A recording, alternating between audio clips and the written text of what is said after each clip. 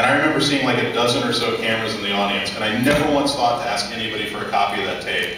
So one of you guys. Do I have it? Do you have it? I don't think you have it. No. Oh, you mentioned him one of them had. Well, yeah, I don't think any of these guys have it. But we've got a lot of video uh, cameras out in the audience, so one of you guys has to give me a tape after this. That's all. Nobody, nobody would ever let go of a tape like that. That would be sacred to anybody. I can understand that. But the reason I because that was 15 years ago, and you look exactly the same. You have the same energy. How do you do it? How do you keep up that kind of energy after all? If I told you, everybody would do it. I have no idea. I, I just like what I'm doing. I like being with fans. I'm not very particular. I even like being with you. This, is, this is fun. That's all. I hope you're enjoying it as much as we're enjoying it. I wish I could say the same. Let's start over here. Uh, we've got one question over here. Step on up to the mic and please speak loudly, if you will. Hello, Mr. Lee. Uh, my question is, you have made a lot of excellent cameos in some great films based on your work.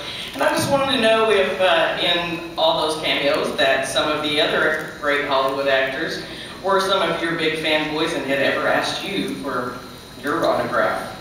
I, I could only make out about one third of that. Could you Sure. The, uh, summarize it? when you shoot your cameos, were any of the actors, did they kind of drop their egos for a minute and admit how much of a fan they were of you? Uh, well, I'd like to say that they all gathered round me and sang uh, tribute songs. But actually, they're very nice, all of them, and we've become friendly. Robert Downey Jr. is the, the first time I met him, he bowed down. I'll tell you a funny thing about these guys, though. Very often, they'll ask me to have lunch with them if they're in Beverly Hills, where our office is. And I'll bring them to a restaurant that I know. And I remember I walked in with, um, with Robert Downey Jr., actually, a, a few months ago. And all the waiters recognized him. Well, you can imagine how they treat me from now on at that restaurant. You know? And I, I walked in with um, Chris, who plays Thor, and I walked in with um, Webb, the, the director of Marc Webb. Marc Webb. Yeah, I'm no good at names.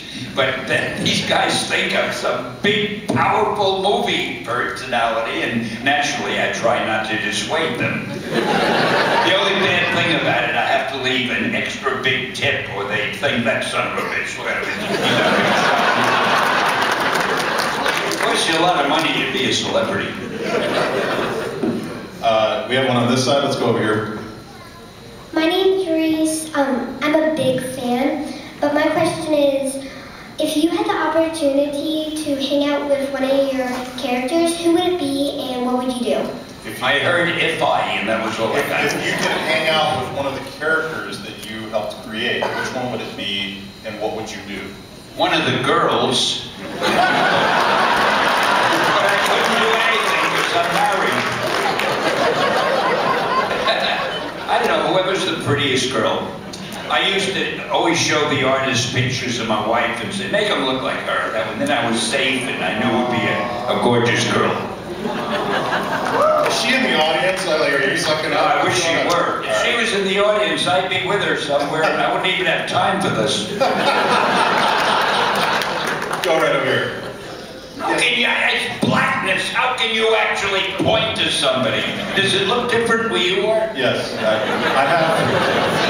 He's fooling you. I have superpowers. You gave them to me. Right over here. Uh, Yes, Mr. Lee, I was wondering um, how you feel about your characters being portrayed on the big screen. Do you think the actors are doing an adequate job? How do you feel about your? How do you Yeah. How do you feel about the characters that you created being portrayed on the big screen? Do you feel the actors are doing an accurate job? Oh man, the fact that these characters are on the big screen and are so successful is the greatest thing that could have happened to me. The director, the screenwriter, the actors do all the work, and I end up getting a lot of the credit. And all I do is a lousy little cameo. Couldn't be a better deal. Right over here. Uh, first off, I just want to say uh, thank you. Uh, thank you on behalf of all the fans everywhere. Uh, you've created an amazing world that's gotten us through all kinds of great times and bad times. So uh, thank you very much for everything you've created.